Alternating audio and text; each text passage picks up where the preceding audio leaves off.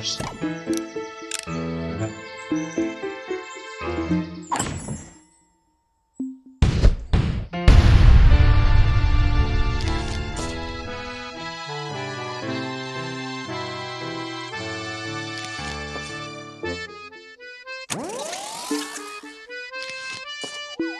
The zombies are coming.